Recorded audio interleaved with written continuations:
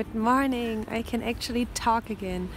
Uh, I don't want to overdo it, so I want to save my voice for the work and for the podcast tomorrow. Um, because in the last days, even whispering was painful. Wow, that was a very, very heavy virus and it knocked me out so dramatically. On Monday, I thought, okay, hmm, it feels rough in the throat, but maybe I can go to work. So I um, put on my clothes and I wanted to brew some coffee, and then I made it made some voice tests, so to say. Um, and I realized, oh my gosh, that's that's not good. That's awful. It hurts, and I'm I'm sounding so weird. And I really debated with myself and decided not to go to work on Monday, so that I can go on Tuesday, because I thought, okay, we will, I will recover from that very, very quickly, quick, quickly. Um, no, I didn't. On Tuesday it was I, I couldn't talk at all. At the doctors, I whispered, but it was so painful.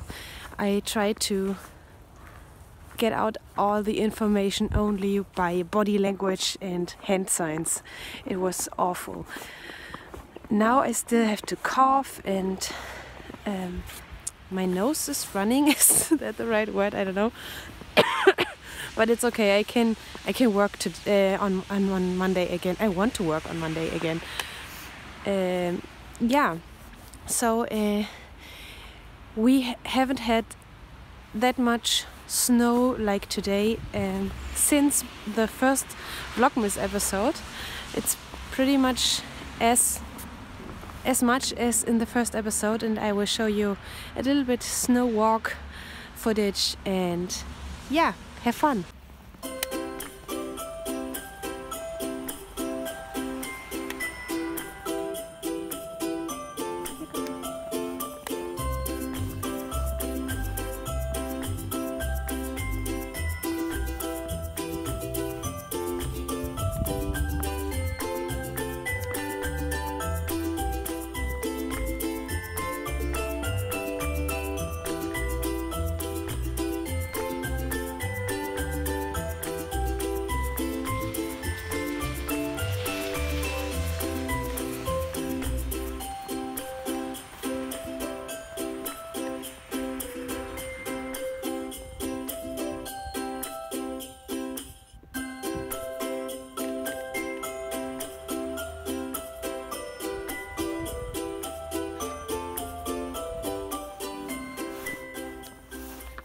So I'm a person who talks a lot, not only at work, also in private life. And I realized that this not even one week of not being allowed to talk or being able to talk for several days um, was a very interesting experience because so for example i couldn't talk so much at Benny. And I say at Benny because I don't talk with him, I talk at him. And I think for a dog, it's not so good if you talk so much with him because he can't make a difference between you're just city talking or um, giving him commands. And I realized that I didn't have, have to say something, only my body language was enough to make him clear what I want from him. Because it would have hurt if I had told him to sit or to stay or to come here or so. And he really realized only by my body language because I didn't talk to him. That was very good. And um, social interaction. There is so much happening between two people without words. Uh, that was very, a very good experience, and yeah, definitely definitely the bright side of being sick.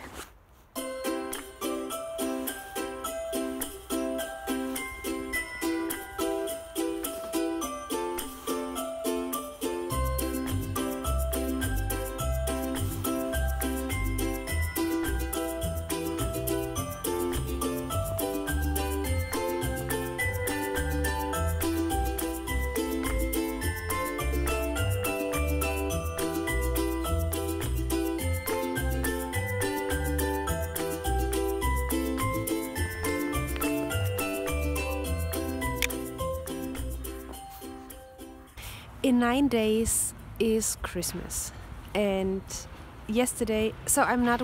Um, I I don't watch the regular TV. Um, very much. I don't. I don't do that, and I don't like to watch the news because, yeah, that's another topic. I don't like to watch the news. Um, but my boyfriend does, and so if he is I have to pull the dog, you know, like like he is on a sleigh and I have to pull him up the hill. um, well, doesn't matter. I don't like to watch all that, but the news were on, on, so yeah, in the TV, and they were uh, on, on a channel in Germany. It's in German. It's NTV, so NTV. It's like BBC or so, um, or CNN. Um, and they were talking about, whoa, the countdown, the countdown starts in 10 days. It's Christmas. Do you have all your presents yet? If you want to order them and get them shipped to your house, that's what you have to do. Hurry, hurry, hurry. You need to get that done and so on. And I sat there and, and I have all my presents already. I have everything. Everything is even no, only three presents are unwrapped, but all the presents besides them are wrapped and I have them at home and yeah. Uh, but I was so stressed only by watching and and listening to these people that I thought, oh my dear, all the poor people who are um, who are I don't know uh, drowning in this environment because I'm I'm very conscious about not wanting to be like that but many people don't have the possibility because of their job. If you work in a store or you work at your postal office, you are in a hurry all the time and you are confronted with all that stuff. Um, yeah, it was crazy. And then I thought about okay, what how will it be this Christmas? It will be a little bit different. I won't be home for reasons. Yeah, family is not always easy. Um, but I will celebrate it also a little bit smaller this year. I told you um, less presents, so less money for presents, uh, more quality time. Sorry, I always said I always check the dogs. More quality time, um, more about the real reason for Christmas. So praying, uh, going to the Holy Liturgy, and all that. Um, yeah, cozy home feelings, watching movies, all that. how how did I came come here? Uh, well, I will see how content I will be with this Christmas. I don't know. Maybe I will be totally uh, disappointed, but I don't think so. I don't think so. I feel that I'm so far away from. Uh, that sounds like I would feel that I'm a better person than others, but I don't but I feel that I'm so far away from the normal society. For example, because of being ill for a week now, I wasn't able to go to other Christmas markets, and I don't know how many possibilities I will have to visit uh, the other Christmas markets I wanted to. And I thought, okay, now I'm living in Vienna and I'm going to less Christmas markets than all the years before. And then I thought, okay, I could say, oh, it's not Christmas without having been to this or that Christmas market, and then I think ah, that's so stupid. That is so stupid because Christmas has nothing to do with that. I can say to myself now, but it was a process, you know. A few years ago, I said, I don't know, it's not Christmas without a real Christmas tree. I will have a plastic one this year. Or it's not Christmas without being with family. I haven't been with family besides last year for seven years on Christmas. Uh, I don't know. It's not Christmas without this or that certain cookie. you know, maybe you also have experienced this kind of progress or process in your personal life. But yeah, I realized and I I grow in this realization that Christmas doesn't have doesn't have to do nothing with all that. I try, I try. Maybe some people are watching who are alone over Christmas or have I don't know, a very bad disease or other reasons why they aren't in that big Christmas mood. I can tell you. I can tell you that, yeah, I know it's hard and I've been there. You can trust me, I've been there. Christmas was always very hard for me the last years. Very hard. Um, but it's Christmas in your heart, you know. I can tell you that Christ will be born in my soul and in my heart again. That's what Christmas is about. The Savior will be born in your soul and He is near to you and He will never let you down and you can always count on Him. And God became human. That's what Christmas is about. Uh, we made a lot of other stuff out of Christmas, and that is okay. Uh, all the traditions and and tiny things and presents and decoration, but really to to get that straight, Christmas is about Jesus is coming to you because he wants to save you, because he loves you and he wants to save you. That is Christmas. So that means if you can't see your family on Christmas, that's hard, I know, but Jesus is there. If you have a bad disease or other problems which mm, don't let you come into Christmas mood, I, I can totally relate to that. I, I really do. I've been there. But Jesus is there and He is the one who is it about. You know, it's like having a checklist, in my opinion. Um, when I was younger, I thought, okay, I need to get check off all these stuff, uh, all this stuff to get Christmas mood. Listening to Christmas music, check. Baking cookies, check. Buying presents, check. Wrapping presents, check. You know what I mean. But what? Yet now, now think of a world where all that isn't possible. Think of other countries where it's not possible to do that or because you're poor or because you have no family. But it's still Christmas. It is still Christmas. And the Christmas miracle will happen to you if you let the Christmas miracle happen. I have experienced this, and this is what I wish you when I say Merry Christmas. That's from the bottom of my heart my Christmas wish for you this Christmas.